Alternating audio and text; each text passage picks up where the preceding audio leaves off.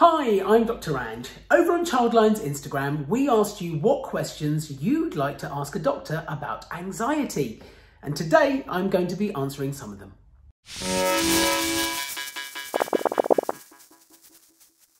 So question number one, what is anxiety and what causes it?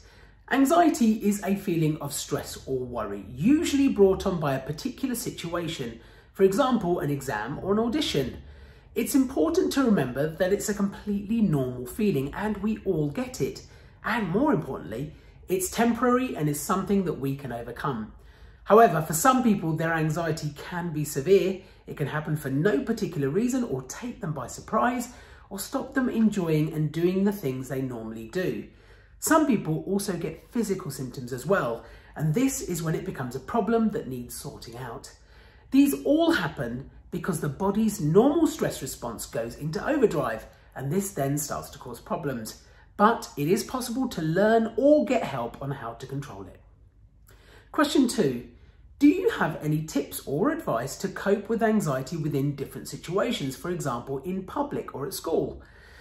Well, there's no one magic answer to dealing with anxiety and people who suffer from it may find different things helpful.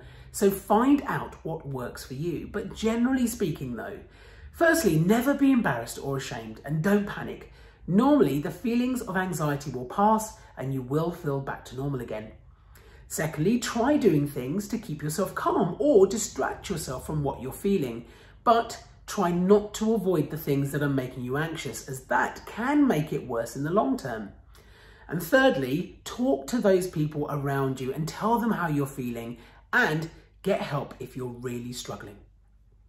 Question three, are there physical symptoms with anxiety? Yes, there absolutely can be, and they can be quite varied from person to person. Anxiety can cause physical symptoms like sweating, a feeling like your heart is beating really fast, feeling sick, headaches or stomach aches. Some may even find that their tics or stammer gets worse too. Question four, what's the difference between anxiety and just feeling anxious sometimes? Well, it's important to remember that we all feel anxious sometimes. It's normal and we can deal with it by ourselves.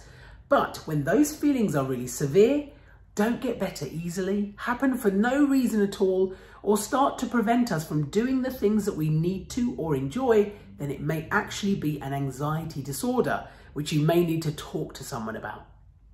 Question five, how do you speak to your doctor about mental health without feeling embarrassed?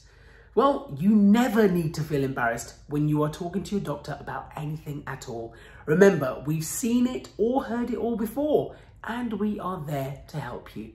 If you do find it hard to describe how you're feeling or get across what you're going through, then it may help to take someone with you or write it down first.